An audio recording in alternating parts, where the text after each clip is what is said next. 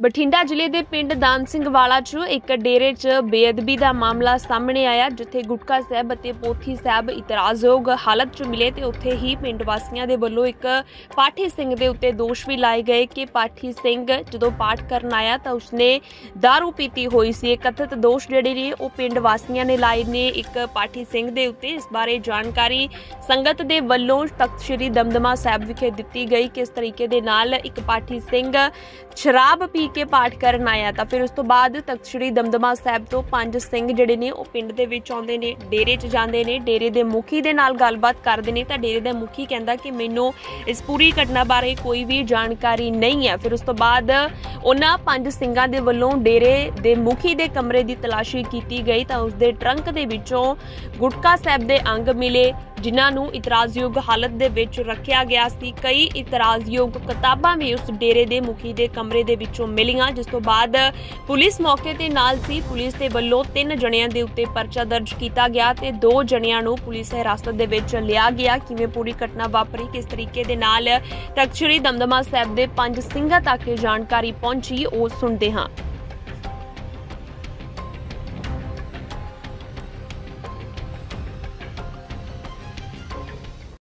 ਹਾਂਜੀ, ਇਹ ਕੱਲ ਤਖਸ਼ਰੀ ਦਮਦਮਾ ਸਾਹਿਬ ਵਿਖੇ ਸਾਡੇ ਕੋਲੇ ਕੋਈ ਸੂਚਨਾ ਪਹੁੰਚੀ ਸੀ। ਮਾਨਯੋਗ ਸਿੰਘ ਸਾਹਿਬ ਜੀ ਦੇ ਆਦੇਸ਼ ਦੇ ਮੁਤਾਬਕ ਸਾਡੇ ਮਾਨਯੋਗ ਇੰਚਾਰਜ ਸਾਹਿਬ ਸਾਹਿਬ ਧਰਮ ਪ੍ਰਚਾਰ ਕਮੇਟੀ ਤੇ ਸਮੂਹ ਪੰਜ ਪੈਰੇ ਸਭਾ ਨੂੰ ਉਸ ਪਿੰਡ ਵਿਖੇ ਪੜਤਾਲ ਕਰਨ ਵਾਸਤੇ ਪਹੁੰਚੇ ਸੀ। ਉੱਥੇ ਜਾ ਕੇ ਸਾਨੂੰ ਪਤਾ ਲੱਗਿਆ ਕਿ ਉੱਥੇ ਇੱਕ ਪਿੰਡ ਦੇ ਬਾਹਰ-ਬਾਹਰ ਇੱਕ ਡੇਰਾ ਬਣਿਆ ਹੋਇਆ ਹੈ, ਜਿਹਨੂੰ ਕਿ ਦਰਵੇਸ਼ਾਂ ਦਾ ਡੇਰਾ ਕਿਹਾ ਜਾਂਦਾ ਹੈ। ਔਰ ਉਸ ਡੇਰੇ ਦੇ ਵਿੱਚ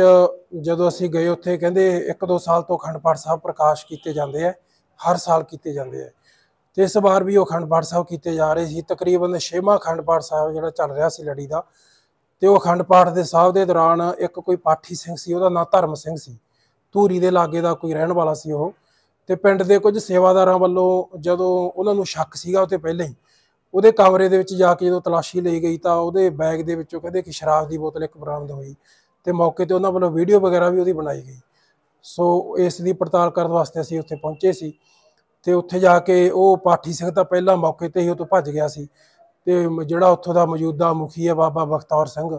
ਉਹਦੇ ਨਾਲ ਅਸੀਂ ਗੱਲਬਾਤ ਕੀਤੀ ਪੂਰਾ ਪ੍ਰਸ਼ਾਸਨ ਵੀ ਉੱਥੇ ਆਇਆ ਹੋਇਆ ਸੀਗਾ ਪਿੰਡ ਵਾਸੀ ਵੀ ਪੂਰੀ ਨਗਰ ਪੰਚਾਇਤ ਉੱਥੇ ਮੌਜੂਦ ਸੀ। ਉੱਥੇ ਜਾ ਕੇ ਜਦੋਂ ਅਸੀਂ ਅਹ, ਬਖਤੌਰ ਸਿੰਘ ਨੂੰ ਪੁੱਛਣਾ ਕੀਤਾ ਤਾਂ ਪਹਿਲਾਂ ਤਾਂ ਉਹ ਮੰਨਿਆ ਨਾ ਮੁੜ ਕੇ ਜਦੋਂ ਦੁਬਾਰਾ ਅਸੀਂ ਸਖਤੀ ਦੇ ਨਾਲ ਉਹ ਤੋਂ ਪੁੱਛ ਪੜਤਾਲ ਕੀਤੀ ਤੇ ਉੱਥੇ ਹੋਰ ਤਲਾਸ਼ੀ ਲਈ ਗਈ ਤਾਂ ਇੱਕ ਉਸ ਬਾਬੇ ਦੇ ਕਮਰੇ ਦੇ ਵਿੱਚੋਂ ਪਾਵਨ ਗੁਰਬਾਣੀ ਦੀਆਂ ਪੋਥੀਆਂ ਵੀ ਇਤਰਾਜ਼ਯੋਗ ਹਾਲਤ ਦੇ ਵਿੱਚ ਮਿਲੀ ਇੱਕ ਪੰਜ ਗ੍ਰੰਥੀ ਸਾਹਿਬ, ਪਾਵਨ ਪੋਥੀ ਸਾਹਿਬ, ਉਹ ਵੀ ਕੁਝ ਅੰਗ ਉਹਦੇ ਉਖੜੇ ਹੋਏ ਸਨ ਉੱਪਰੋਂ, ਜਲਦ ਹੈ ਨਹੀਂ ਸੀ ਉਹਦੀ। ਸੋ ਇਸ ਕਰਕੇ ਉਹ ਬਹੁਤ ਅਵਗਿਆ ਹੋ ਰਹੀ ਹੈ ਉੱਥੇ ਗੁਰਬਾਣੀ ਦੀ। ਤਾਂ ਉੱਥੇ ਅਸੀਂ ਤੁਰੰਤ ਉੱਥੇ ਐਕਸ਼ਨ ਲਿਆ ਔਰ ਮਾਨਯੋਗ ਸਿੰਘ ਸਾਹਿਬ ਜੀ ਨੇ ਵਿਚਾਰ ਕਰਕੇ ਜਿਹੜੇ ਪਾਵਨ ਦੋ ਸਰੂਪ ਸੀਗੇ, ਉੱਥੇ ਇੱਕ ਗੁਰਦੁਆਰਾ ਸਾਹਿਬ ਤੋਂ ਲਿਆਂਦਾ ਗਿਆ ਸੀ। ਇੱਕ ਉੱਥੇ ਪਹਿਲਾਂ ਹੀ ਪੱਕੇ ਤੌਰ ਤੇ ਸੀਗਾ। ਉਸ ਸਰੂਪਾਂ ਨੂੰ ਅਸੀਂ ਤੁਰੰਤ ਗੁਰਦੁਆਰਾ ਸਾਹਿਬ ਵਿਖੇ ਤੇ ਜਿਹੜੀਆਂ ਪੋਥੀਆਂ ਸੀਗੀਆਂ ਉਹਨਾਂ ਨੂੰ ਪਾਲਕੀ ਸਾਹਿਬ ਦੇ ਰਾਹੀਂ ਪਹੁੰਚਾ ਦਿੱਤਾ ਗਿਆ ਔਰ ਉਸ ਬਾਬੇ ਨੂੰ ਬਖਤੌਰ ਸਿੰਘ ਨੂੰ ਪੁਲਿਸ ਦੇ ਹਵਾਲੇ ਕਰ ਦਿੱਤਾ ਗਿਆ ਔਰ ਜਿਹੜੇ ਦੂਸਰੇ ਵੀ ਸੀਗੇ ਬੰਦੇ ਉਹਨਾਂ ਤੇ ਵੀ ਕਾਰਵਾਈ ਦੀ ਮੰਗ ਕੀਤੀ ਹੈ